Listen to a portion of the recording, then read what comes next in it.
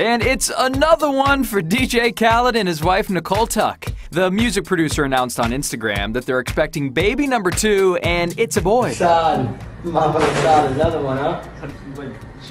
Mommy kiss. Mm-hmm. Big daddy kiss.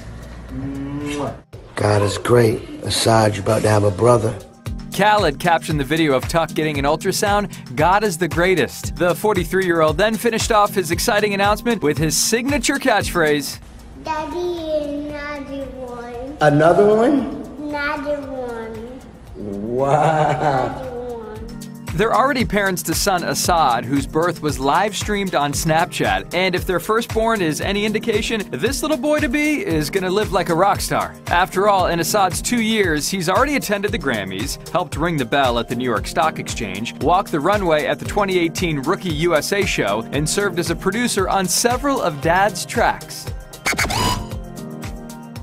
Thirsty for more celeb news? Make sure you subscribe to the E! News YouTube channel so you can stay informed on all the breaking updates. Come on, you know you want to be the first to know about all the latest hookups, breakups, arrests, and so much more.